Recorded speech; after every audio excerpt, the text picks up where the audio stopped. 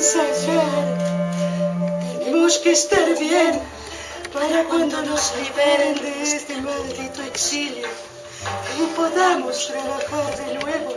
Me gustaría reflexionar en voz alta sobre, la, el, sobre el contexto, ¿no? que, el que marca al final todo. El, el contexto no solamente de, de, la vorágine, sino también el contexto del de, galpón.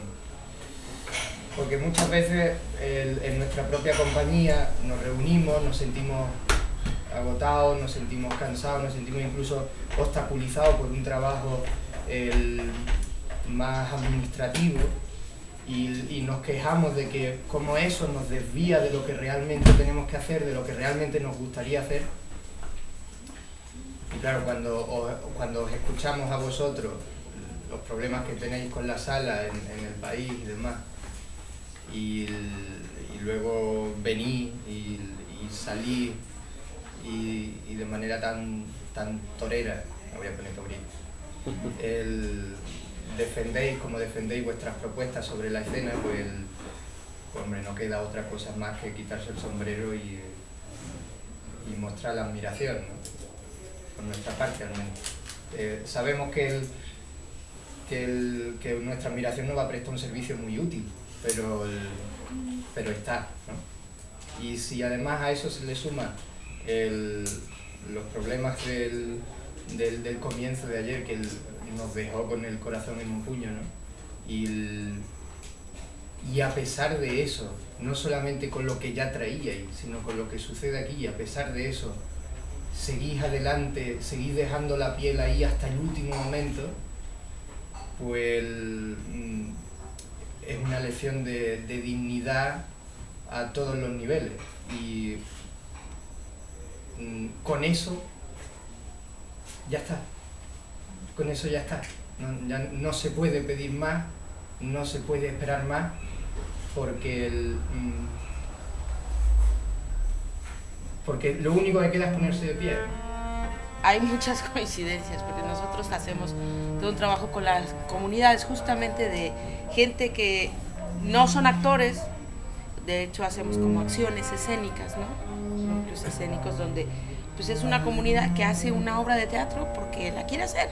Y es la señora que, eh, digamos, hay, nosotros en ese sentido lo trabajamos como diseño de acciones escénicas porque la idea es que lo hagan, pero que además el resultado sea hermoso y con un impacto escénico eh, fuerte, ¿no? Y que tiene que ver de pronto con la señora que hace un movimiento, que a lo mejor es muy cotidiano, pero que en un contexto empieza a expresar otras cosas, ¿no?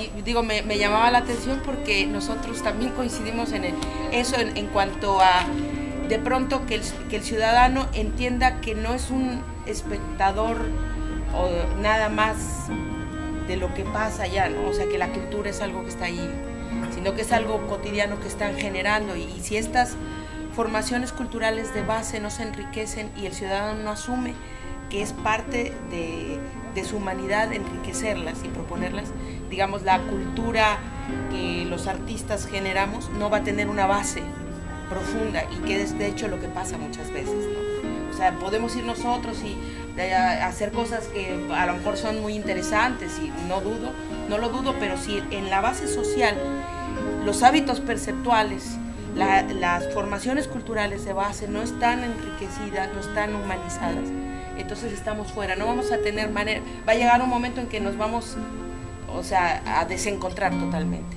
Entonces, de alguna forma, en ese sentido coincidimos con este trabajo en la base social, culturalmente hablando. La generación de públicos críticos y participativos. Entonces, hace 11 años, en la lejana primavera del 2003, se trataba tan solo de hacer una muestra entre los procesos artísticos que el Centro de Investigación Escénica, el Teatrito, estaba o poseía en proceso de creación y o producción, repartidos entre sus dos sedes del Distrito Federal y de Mérida y Yucatán. Las cosas resultaron de otra forma. Hay algo que nosotros planteábamos en el Cruzando Fronteras y que está en la búsqueda también de nuestro trabajo, en los, propósitos de, forma de, mirar el teatro, que es esto de generar públicos críticos. ¿Qué significa? ¿Qué significa la criticidad? Si no la capacidad de preguntarse. ¿Quién establece las preguntas? ¿Cuáles preguntas? ¿Quién tiene que preguntar por quién? ¿Quién es, eh, dónde, digamos, cuál es el espacio eh, de esa pregunta? Yo creo que es el espacio interior de cada uno. Nosotros estamos, por lo menos este, desde, desde lo que fue mi formación, desde las culturas que a mí me impregnan, ¿sí? este, la experiencia es la experiencia de que los niños no, no deben preguntar, no tienen nada que preguntar, tienen que repetir. O los maestros van llenos de, de respuestas para preguntas que los niños no hacen, pero van llenos de respuestas. No me quiero preguntar por el espectador, quiero que el espectador se pregunte, se reconozca como un sujeto que puede preguntar. Efectivamente, cuando yo veo tu obra, me surgen preguntas y me da como vergüenza, no de yo no, me está surgiendo esto, no me está surgiendo esta idea. No, no me voy a tomar en serio, seguramente será una confusión que has tenido, ¿sabes? No, no me tomo en serio lo que tú dices de construir sujetos que se hacen preguntas muchas veces. Y eso me surgió con esa, con, al ver la obra, ¿no? decir, ¿estoy yo realmente autorizada a, formularme estas preguntas? ¿Me está formulando esta estas preguntas? Seguramente Susana está equivocada, desechada. Ahora, ¿qué trabajo hay que hacer? ¿Cuál es la educación prohibida? ¿Cuál es la educación que hay que, embanderar o que hay que, que sostener para que eh, nos construyamos como sujetos de la pregunta? Para que nos animemos a convivir con el misterio y en todo caso este, podamos asombrarnos, ¿no? El asombro sea posible, o ya nada nos asombra, o nada nos tiene que asombrar porque llegamos a este, la evolución ya elevada, la sociedad no puede llegar a más, hemos llegado al mercado. Ya está, la evolución fue perfecta, no hay nada más que... El espectador se va con una pregunta, ¿sí? Más o menos inconsciente de esto, eh, quizás es una forma de empezar a desaprender esas culturas y poner el cuerpo en otro lugar, en el propio cuerpo. Sea la índole que sea la pregunta, ¿no? porque somos diversos.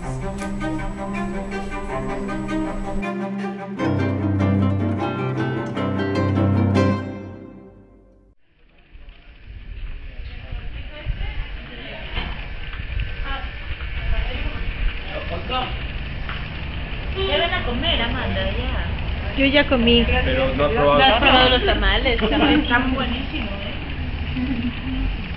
La señora Lourdes. ¿Sí? Ahí la que tú dices.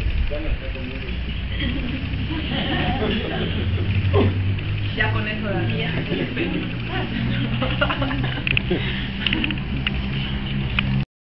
¿Cómo lo frenan?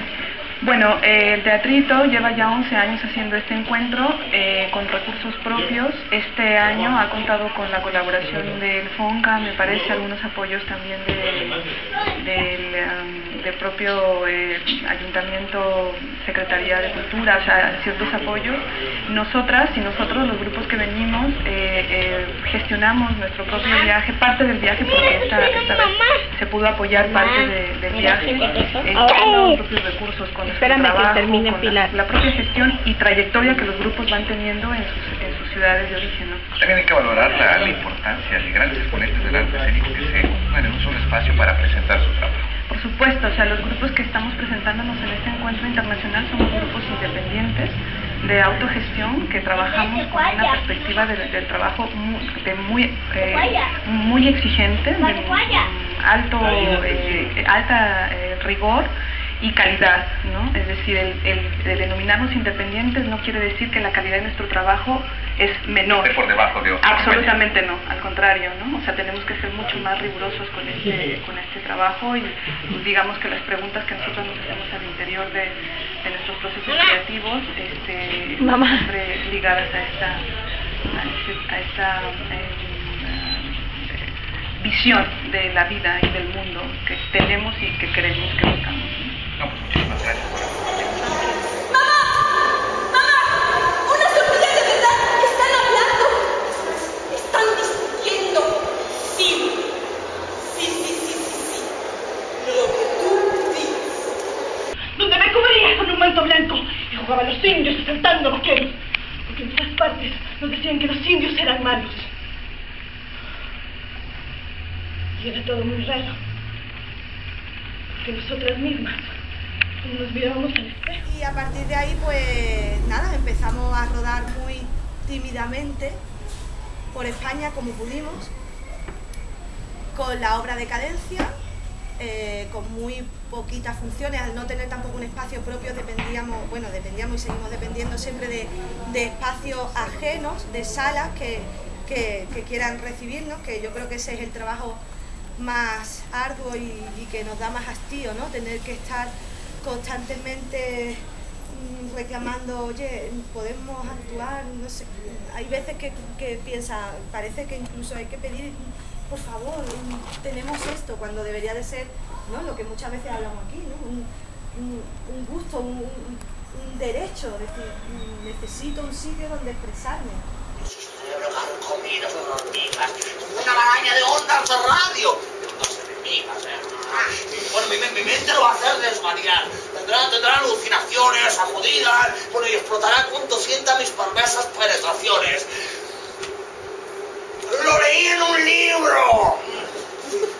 ¿Cómo hacer que se produzca el hechizo o llevar a un pobre tipo al infierno? Pensando en su cara, ¿eh? si hubiera un la época de Mozart, en las pero yo nací aquí y aquí estoy con, soy director de la orquesta, de la banda del barrio. Y somos también eso, eso es innegable. Fantasías nos pueden llevar. Por eso yo te digo, yo siento, es más, yo creo que es, habla de, de la tripa, ¿no? De, cómo está agarrado, que vas a trabajar y luego sacas tiempo para aprenderte el papel, incluso en, en- en el autobús ahí aprendiéndotelo para llegar al ensayo, que vienes cansado. Eso yo creo que habla de esto, de la pulsión que nos lleva. Eso, yo personalmente creo que en, en España la comodidad ha minado eso, que es las ganas de la comodidad, el- el- la comida sin esfuerzo, haciendo metáfora, ¿no? Porque ocurre en la sociedad, o en una generación de la sociedad en la que está ahora mismo en España, hay muchos jóvenes que tienen la vida resuelta. O tienen la fantasía de que tienen la vida resuelta. Y quizás creo que es más acertado. Y entonces, claro, van a la escuela de dramático, el profesor dice, bueno, pues esta media hora mm, se pueden ir. Y ellos lo celebran se van. Yo me moría, yo, yo cuando tenía, tomaba las clases del primer profesor que tuve de teatro, yo llegaba 20 minutos antes. Y cuando se iba, ya ha terminado, pero ya, pero y no podíamos. Claro, era eh, es- quizá por la carencia había un deseo muy grande. Pero que creo que tiene que ver también con esto, que, que uno va- no valora cuando Cuando haces con un poco más de esfuerzo, eh, es- va en nuestra condición. ¿no? Yo siento que como seres humanos eso es algo que, que está muy inherente a la vida, ¿no? que uno no valora hasta que tiene que vivir las polaridades, es decir, la carencia y al mismo tiempo el tener para poder valorar, no, no, no, no existe. claro, y allá pasa mucho eso. Allí, Sabes que allí tú te vas a la escuela de, de arte dramático y yo personalmente, si estoy mucho más acostumbrado a la El confío del sol que alumbra a medianoche. Esto, esto es una prueba. Apunto que es una prueba. Cuando ha sido amable con nosotros el destino. Por eso hay que darse prisa. No será que se percate de su error. No, no, sí. Pero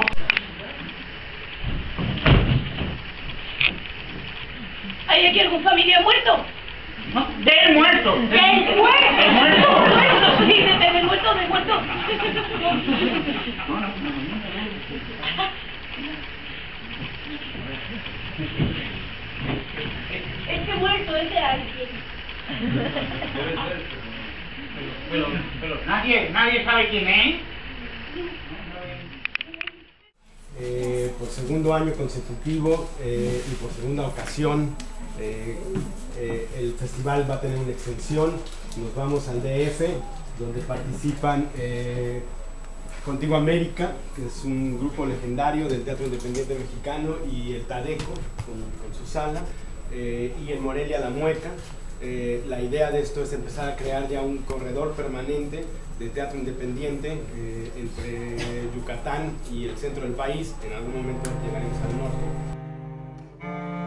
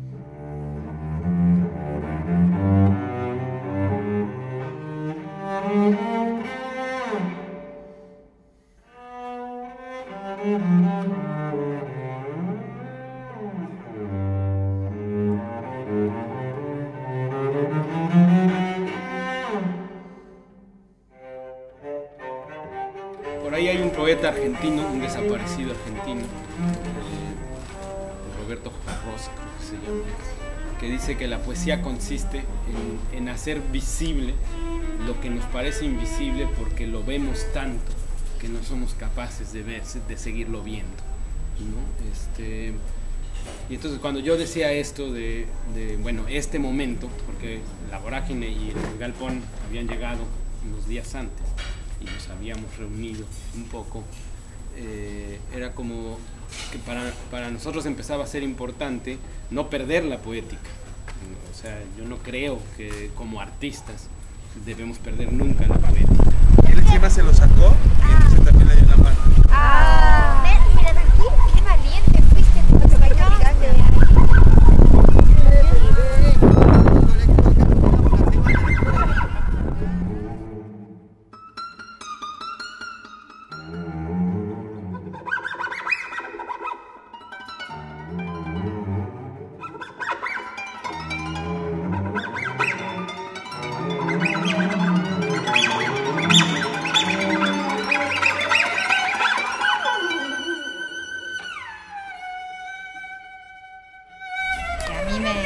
movilizó fue esto de que en realidad las acciones para atrás más contundentes de Cruzando por Fronteras para mí son la posibilidad de, haberse concretado el ARRE en las condiciones en que se concretó, eh, la, apertura, la reapertura de la sala, ¿sí? Ustedes lo- o sea, esa llegada de teatrito con el taller y con, y con la obra de, de títeres fue parte de lo que nos permitía seguir contándole a la, comunidad y seguir insistiendo y presionando que nosotros, la arena no nos tapó, que nosotros estábamos allí. Lo decíamos con Teatrito haciendo una función eh, hermosa de, teatro de, títeres para niños en una escuela de cerámicas y después dando un taller en el medio de las cerámicas y en un salón que la escuela nos proponía.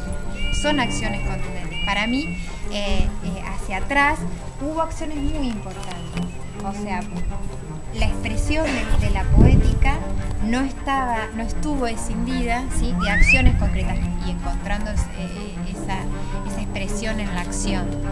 Eh, y hacia atrás rescataba esto, lo que me quedaba como, como pregunta era esto, ¿no? Si vos lo rescatarías.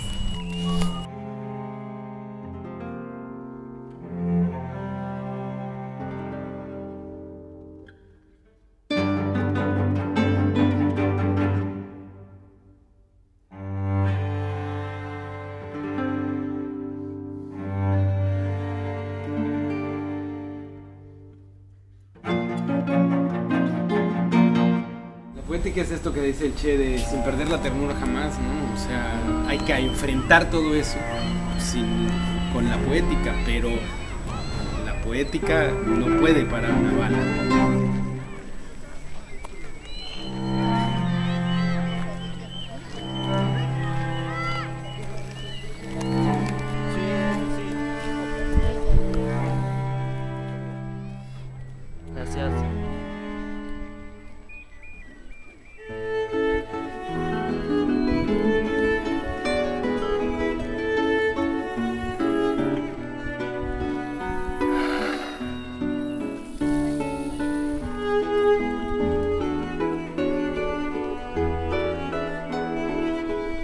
No sé si hubiera sido igual porque no habría tal vez para todos, no se habrían dado las condiciones concretas para estar aquí, pero todos lo íbamos a intentar.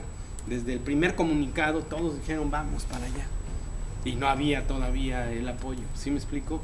Eso es lo que yo llamo la poética, la acción concreta es que cada uno haya puesto el resto del pasaje para estar aquí presente, ¿no? Este, y que bueno, esto esté pasando. Ahora, para nosotros también en función de, de fortalecernos en México, donde nos sentíamos tan solos, eh, es como darle un sentido, sobre todo con los compañeros de la mueca, de que de, de, de todo esto, o sea, que conozcan todas estas acciones, que conozcan, lo hemos hablado con ellos, de que en Mar del Plata hay un teatro que no solo es el galpón de las artes, sino que es nuestro galpón, nuestro galpón de todos los aquí presentes. ¿no? Vamos, exacto, ¿no? Este, y que no hay que permitir que tampoco que cierre la gloriosa porque es un teatro enorme y bellísimo en Tucumán, ¿no? Este, tierra que además tiene un, una historia terrible de represiones y no sé qué, pero ahí está la gloriosa resistiendo, ¿no? Eh, en fin, y bueno, ya conocerán la mueca con 30 años de, de, trabajo atrás, bueno, están a punto de cumplir los 30 años de trabajo, ¿no? Y su foro, eh, eh, estoy seguro que el galpón cuando entre va a parecer que está entrando a la gloriosa, en tamaño, en, y, y, esa galería de la que hablas es, es es decir, cuando terminaba el documental me decía el negro, el que vimos ahora, decía, bueno, pero es la historia de todos los que hemos tenido una sala, ¿no? Ahí está el... ¿no? Parece, ¿no? No sabía quién nos había filmado.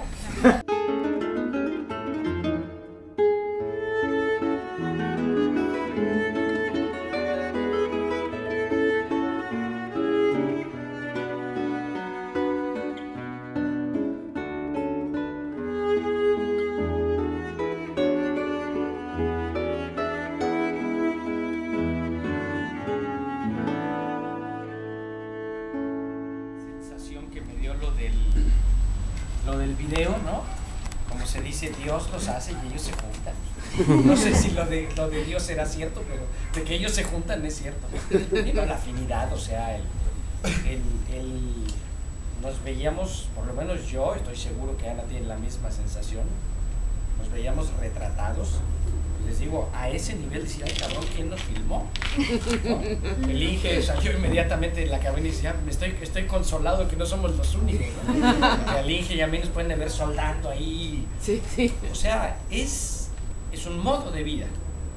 Claro. Esto, es, esto es lo importante, ¿no? Y creo que lo, lo otro importante, quiero decir muy rápido, es que ese modo de vida está empezando a tener una gran importancia histórica. Desafortunadamente, por esta encerrona que está viviendo el mundo. Entonces, este modo de vida está empezando a hablar más posiblemente de lo que creíamos. ¿no? Porque la, el, el, oscurecimiento de los modos de vida generalizados es tan grande que le, no estoy este, echándonos flores eh, a propósito para que nos sintamos muy bien. Lo que estoy diciendo es que tenemos un doble compromiso, ¿no? Porque a lo mejor esto lo hicimos pues, de manera muy espontánea, como los niños, ¿no? Nosotros desde hace años que venimos pidiéndole a grupos de otro lado, a gente que haya una articulación nacional. Este, ni siquiera hay articulación regional. Está como, y bueno, y el Instituto Nacional de Teatro funciona, digamos, para desarticular de alguna manera eso, las políticas funcionan para desarticular. Entonces, claro, hace falta esa articulación. De hace rato predicamos, como decimos, esa articulación, y con Mariano venimos charlando de hace rato, y yo hablando a los compañeros, de armar una especie de mapa teatral argentino para que la gente pueda acceder a salas, contacto con, con grupos, etcétera, y que pueda servir también como nexo, nexo político, ¿no? Fuera de las instituciones, totalmente fuera de las instituciones. Este, pero el no, el no hay gobierno actualmente tiene intenciones eh, de este tipo, pero a modo de mercadeo, cual nosotros estamos obviamente en contra, eh, pero bueno, to- to- ellos igual lo van a tamizar por ese lugar, como que en Argentina sí, tienen esto, las, las industrias culturales, el MICA, el, el pre-MICA y un montón de cosas, No, pero mercado de con- industrias culturales. mercado de industrias Argentina. culturales. No, y aparte el gobierno como cre- creó teatros este, que estaba bueno, digamos, en algunas ciudades. Este, pero mientras tanto no hay un mango para refaccionar, arreglar o guita que valga la pena para las salas independientes que ya tenemos larga tradición. Y organiza festivales y gira y los realiza en esos espacios y no en los espacios independientes. Eso es lo que decimos nosotros. Eh, Los grupos que participan en esas actividades cobran un buenísimo cachet, les pagan los traslados, les llevan las escenografías, le hacen la propaganda y la entrada es mínima. Entonces todos los otros demás, para competir con eso, es muy duro.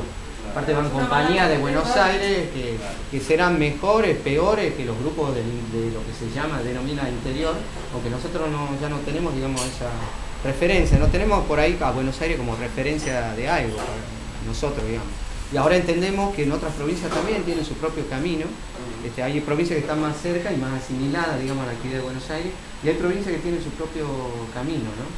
Este, bueno, pero falta esa articulación. Donde hay leyes de teatro es, pero falta articulación, ¿no?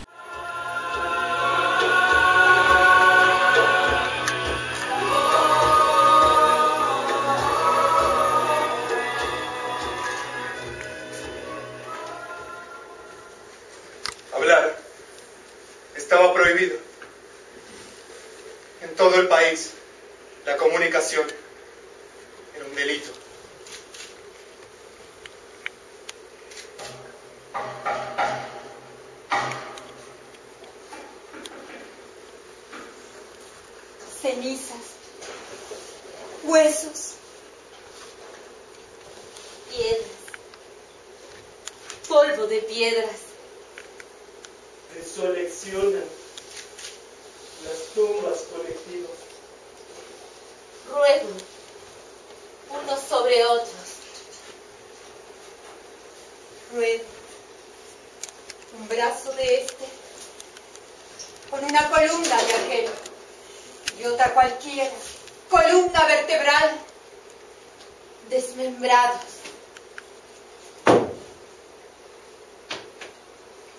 Uno, único cuerpo. Thank you.